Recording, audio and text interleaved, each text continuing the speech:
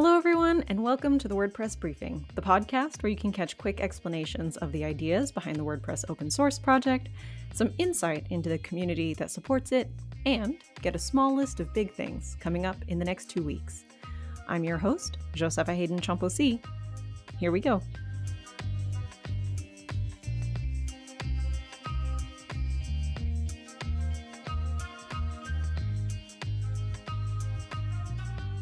Today's briefing topic is going to take a bit of a back to basics look at block patterns.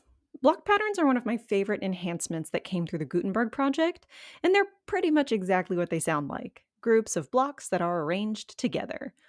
These patterns can be as simple as a block that holds a series of social sharing icons, but they can also be as complex as an entire landing page, complete with a call to action and interactive gallery.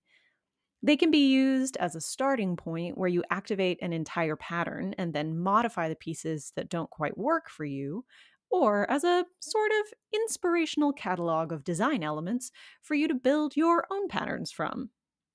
So, where do these block patterns come from? Who created them? As with most things in WordPress, the answer is lots of places. Some patterns are included with WordPress by default, and there are also sometimes specialized block patterns that are bundled with a particular theme or plugin.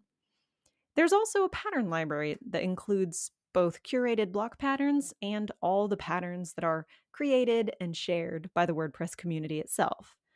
So, from the CMS, from themes, from plugins, from designers, from hobbyists, from people who just like love creating things and putting it out in the world, that's that's where those patterns come from. But you can also create and curate your own block patterns, either to share back to the community as some folks do, or because you are a site administrator and everyone needs to be able to add I don't know, an author block or something, but you don't always want to be the one that has to put the photo on the page. There are a few blocks that have their patterns built into settings, most notably the query loop block.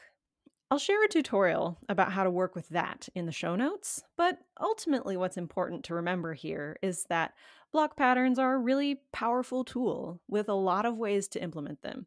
You can start as simple as you want or as complex as you want, but either way, getting familiar with this concept in the software will give you a leg up on your next project.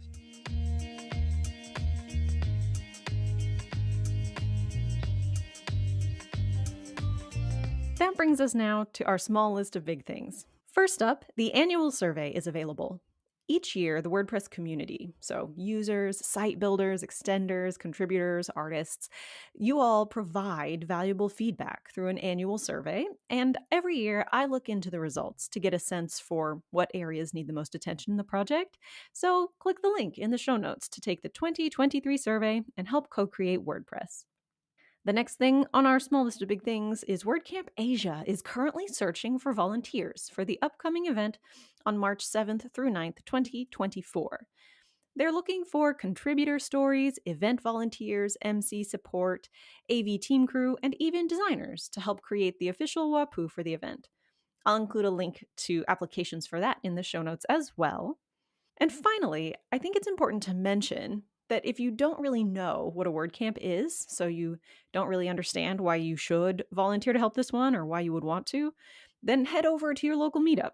If you look in your WordPress dashboard, there's a widget in there that tells you when the next local event will be. And I know that they will all be delighted to have you there. And who knows, maybe your city will be the next to host a WordCamp.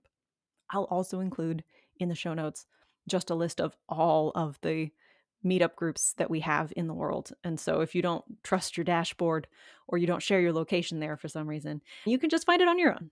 And that, my friends, is your small list of big things. Thanks for tuning in today for the WordPress briefing. Don't forget to follow us on your favorite podcast app or subscribe directly on wordpress.org/news. You'll get a friendly reminder whenever a new episode drops. If you liked what you heard today, share it with a fellow WordPresser. Or if you had questions about what you heard, you can share those directly with me at wpbriefing at wordpress.org. I'm your host, Josepha Haden Chomphosy. Thanks again for listening, and I'll see you in a couple of weeks.